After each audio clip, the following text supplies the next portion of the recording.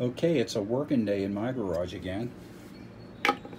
I mounted real horns on my Yamaha Royal Star Venture. I bought these horns on eBay not working. These are the uh, these are very good horns. They uh, they came stock on my Moto Guzzi and I never knew what real horns were like till I bought my first Moto Guzzi in 1980. They come with real horns. And I have been a fan, and I buy these whenever they show up on eBay, and I have two sets right here. Uh, they didn't work. And it's pretty simple to fix them. I just drilled out the rivets. This one has the original rivets in it. I just drilled out the rivets, took the grill off, pulled that center out, and uh, cleaned the points inside and uh, put them back together and uh, they are pretty uh, attention getting.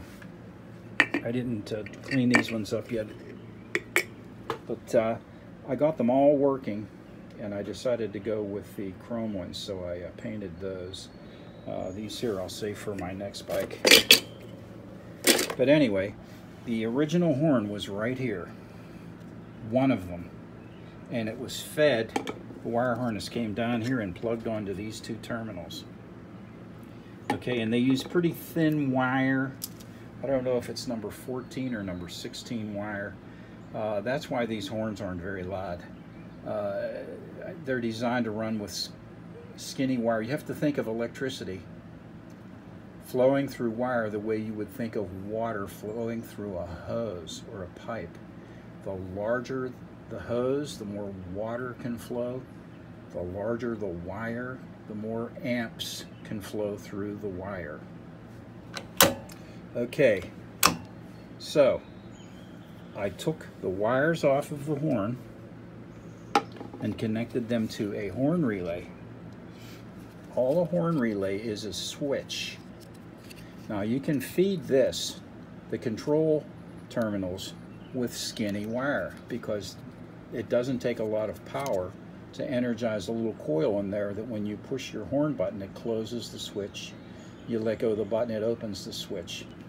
That closing of the switch connects the two terminals that have a direct path from battery to one post on the uh, horn relay.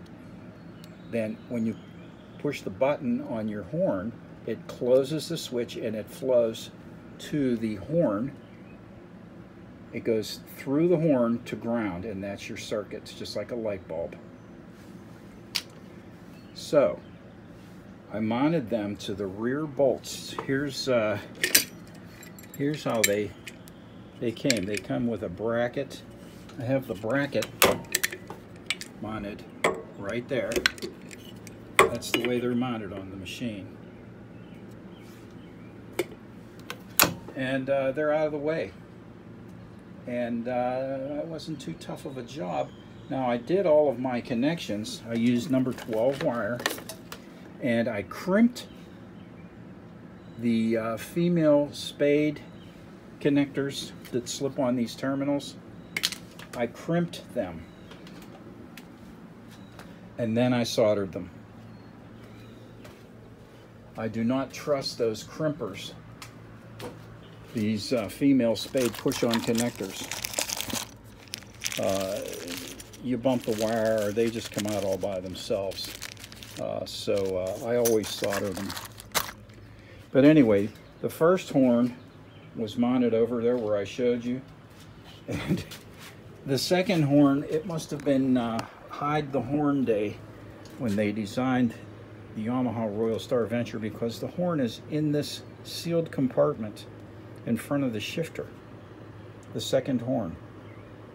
There's no wonder these horns are not very loud. It's in there. I retired it in position. I just pulled the wires off the horn and uh, left it in there. Uh, so I have, there's the second horn mounted to the rear bolt on my passenger foot peg brackets. Now, that horn over there is the one that gets fed from the battery, from the relay to the horn, and then that this horn is fed from that horn. Just a jumper that comes over and feeds the horn one wire, and I have a second wire that goes from the second terminal on the horn just to ground. It's only about four inches long. It goes from the terminal to this nut with a ring connector. And uh, that's it. Now I'm going to beep the horn. I'm going to count, and I'm going to talk in a normal voice. I don't know that you'll be able to appreciate how loud these horns are on the video, but I'll just start counting to 10. One, two, three, four, five, six. That's how loud they are. Definitely will wake up some sleeping dreamers. So, another uh, another job completed on my venture. I'll see you there.